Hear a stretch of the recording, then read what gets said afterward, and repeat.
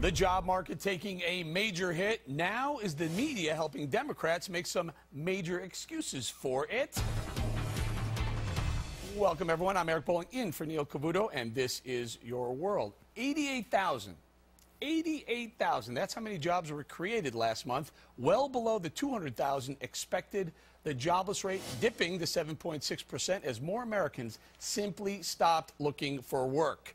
The labor force participation rate hitting its lowest level since Jimmy Carter was president. And now this from the Associated Press saying the weakness may signal some companies are worried about steep government spending, sequestration cuts, aka even though the bulk of the cuts have yet to kick in. Senate Majority Leader Harry Reid also citing the cuts saying, quote, only Congress can undo the serious effects of Republicans' harsh austerity.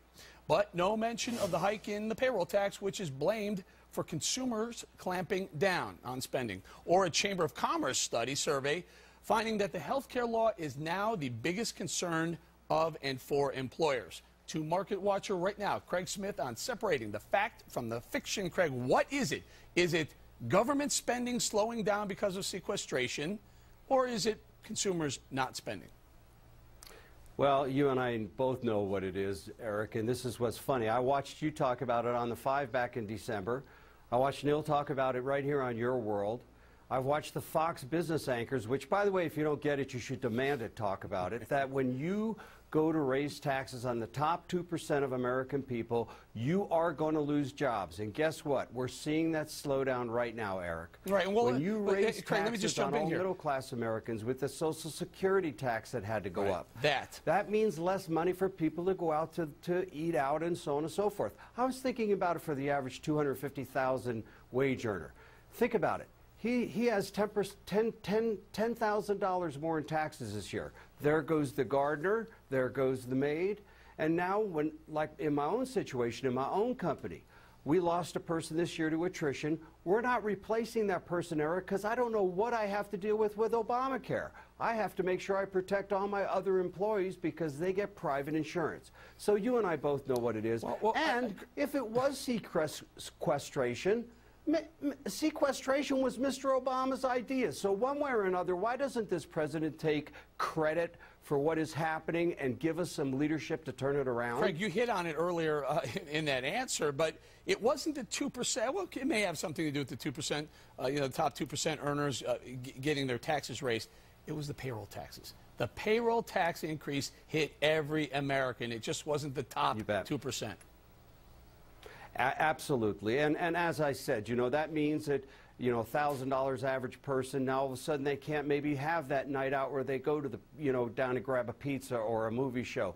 That means that that restaurant owner can't hire more people or maybe even have to lay somebody off.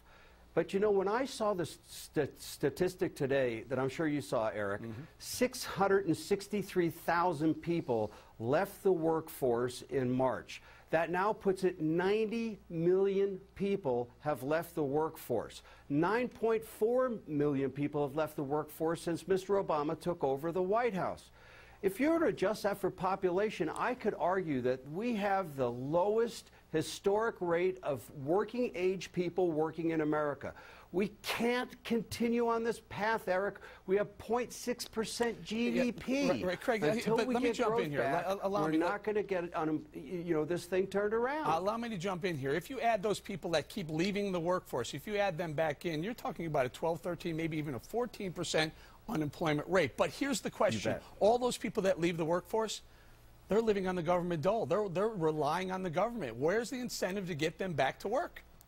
Amen. You, look, they get unemployment. Chronic unemployment, by the way, now is 4.6 percent uh, of our workforce, 40, uh, percent of our workforce, 4.6 million people. But you're right. First, you get unemployment for X amount of weeks, and if it's more than 27 weeks, it's chronic unemployment. Right. Then, if that runs out, you go on to disability. Last month, we had 82,000 people join the disability ranks. That's now 9 million right. people getting disability. Then you get some, uh, some welfare if the disability runs out. Then you get food stamps. Eric, you and I both know, and Neil knows, these numbers don't work. And what's amazing to me is the administration can say say it and nobody challenges it. Last night he said automatic weapons killed those children back east. No, they didn't. Nice to raise three million bucks, but it's not the truth. Yeah, he you missed- won't he- he lose your doctor there. if you There's no decide to keep your doctor. Greg, well, we're going to lose a doctor. Your premiums won't go up. My premiums have gone up, Eric. Right. When will somebody hold this man accountable that you can't keep telling? I don't want to say a lie. You can't. You. You can't keep avoiding the truth and not have it catch up with you sooner or later. Sure, sure. All right, uh, Craig, we're going to leave it there. Thank you very much. Good seeing you, Eric. 24,000